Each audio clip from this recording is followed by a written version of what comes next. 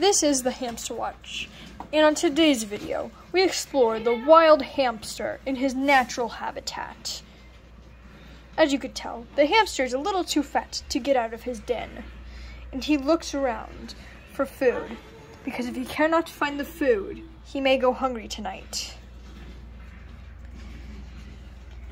The wild hamster is in search of food, and he comes across a small patch of flowers.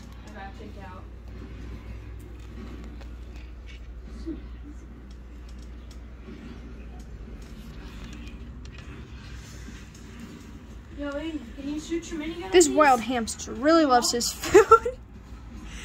his favorite food is the carrot. Yeah, shoot the spawners. I'll take care of these kids. Just shoot the spawners.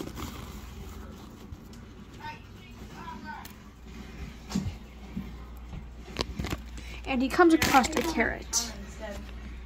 Yeah, get the spawners and I got these. Shoot, I'm going straight for the storm. He shoved it into a small pouch in his cheeks, and he scavenges for more food. As winter approaches, he must eat as much food as he can so he can hibernate. You good? Nice work. You have any shot? This is the Hamster Watch. Thank you for watching.